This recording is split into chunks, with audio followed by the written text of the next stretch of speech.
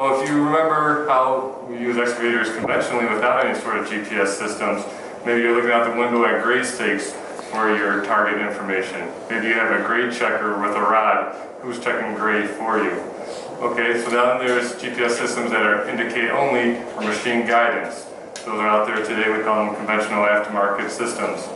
They replace the stakes outside the machine, the grade checker, and they provide that information inside the cab with a control box or a monitor of some sort.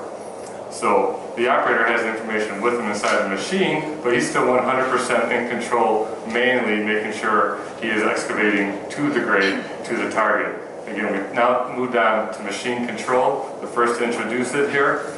And now the system itself is going to prevent the operator from digging below. It's going to allow the operator to trace that grade for nice finished grade accuracy.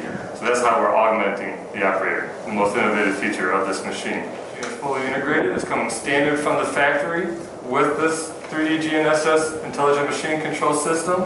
So there's a couple key components that make up the machine that allows us to do this automation that we've talked about. Uh, starting here at the work equipment, we have our bucket cylinder, arm cylinder, and one of our boom cylinders. They all feature Komatsu's stroke sensing technology. So we're very, excuse me, we're able to very accurately know the displacement of those cylinders so that we know where the cutting edge is relative to the body of the machine.